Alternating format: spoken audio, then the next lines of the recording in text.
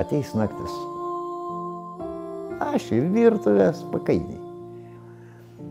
Viskas nutyla, aš vienas, aš girdžiu tik savo balsą, vidinį. Špaga, tai čia mano tašinukas. Aš atsijungiu, vien to braukiam. Čia šitoj rankoje yra mechaninis judesys, kuris mane ramina.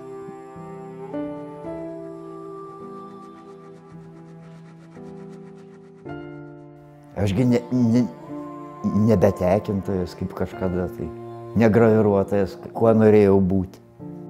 Aš esu Rimantas Šaparinis. Valkata profesionalas. Juodi ir balti potėpiai išnyra Rimanto piešiniuose, bet dar daugiau spalvų galima rasti jo gyvenime. Svajojo tapti juvelyrų, grojo gitara, virkdė mergina savo poeziją. Atsitiktinai susitokė. Gyvenimas nubloškė ne tik į Sibiro. Reikia nupiešti rūdienį.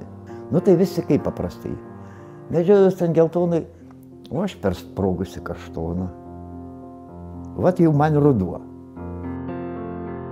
Indėniškai gyvendamas ir klajodamas, vyras mokėsi gyventi. Rimantas neturi namų, kaip sako, atsitiktinumas ir aplinkybės viską sudėliojo į savo vietas. Šiuo metu jis apsistojo Salitaus nakvynės namuose. Čia turi erdvę kūrybai. Man geriausias laikas yra keturias rytą. Aš atsikėliau, sėdau, įdarau. Į tiek, kiek man reikia. Vo, prasidėjo skonis gyvenimą.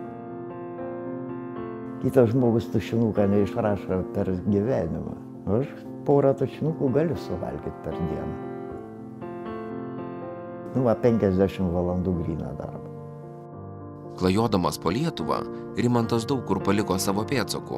Ne viena gydytoja turi jo pieštų kūrinių, mat daug laiko pragulėta ligoninėse, kur ir gydėsi, ir kūrė. O kažkada sudegino savo tris paveikslus, kad sušiltų šaltą žiemą miške. Rimuk. Nu, numirt kiekvienas durnis gali, bet tai paimk ir išgyvenk. Šitas susikabina, nu ir ką. Aš jau ieškau išeities. Ieškoti prasmės gyventi Rimantui teko daug kartų. Išsiskyręs patraukė į Sibirą, kur dirbo statybose. Ten dar kartą atrado meilę. Deja nesėkmingai. Dėl pavydo prarado mokytojo darbą. Nutaręs grįžti į Lietuvą, nebeturėjo kur grįžti. Tėtis mirė, su mama Rimantas nesutarė. Taip ir pradėjo klajoti iš vienos vietos į kitą. Atsirado nepažįstami, draugai, o tada atsirado ir alkoholis sujaukęs jo gyvenimą. Jeigu klysti nuoširdžiai, jau iki padugniuką, kad galėtum atsispirti, vėl rapoja aukštyn.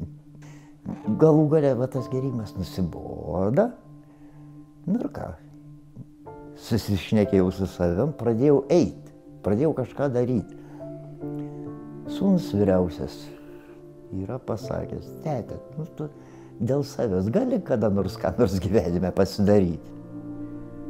O, nes tada savo paskutiniai vietai.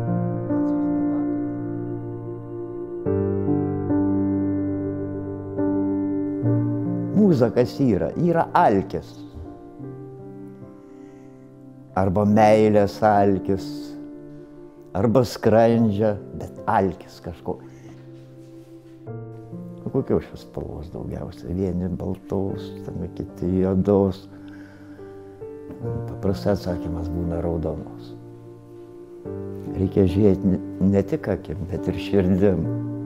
Jaunystėje Rimantas užėmė pirmąją vietą rašinių konkursą ir laimėjo Čiurlionio kurtų piešinių kopijas. Ir iškart įsimylėjo autorių. Nors gyvenimas mėtė tai šiandien tai ten, vyras susikaupė ir įveikė save. Neseniai Lietuvos savivaldybėje pristatė savo pirmąją piešinių parodą. Vis dėlto aš nugalėjau. Mano laimė ieškojame. Bet aš jau pradėjau norėti rezultatą galų gale. Galų gale. Jeigu mane pavadino geru, aš būsiu rytoj dar geresnis. Vyras nenori būti užmirštas, todėl kiekvieną dieną piešia. Piešia medicinos seselėms, socialiniams darbuotojams. Jeigu tik gauna užsakymą, jo akis nušvinta. Ir vis daraus laimingesnis, kai žinau, kad laukia, laukia va to darbo. Žinau, kad laukia ir tikisi ir reikia neapvilti. Reiškia, aš ten, kur aš turiu būti.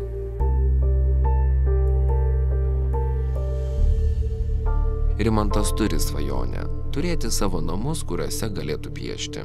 Todėl kasdien galvoja apie socialinį būstą ir galbūt kažkada už savo kūrybos vaisius pasitaupęs galės jį įsigyti.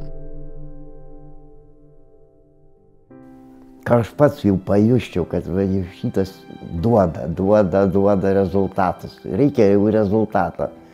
Neužtenka vien to ėjimą, ieškojimą, ieškojimą.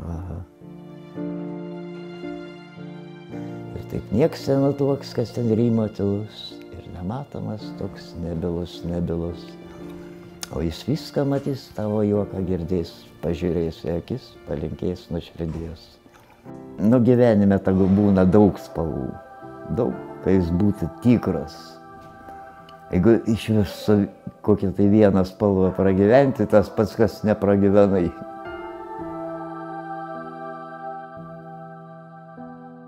Mano pešimas padėjo man nugalėti tokią priklausomybę kaip alkoholis. Mano maža pergalė suvaldyta priklausomybė.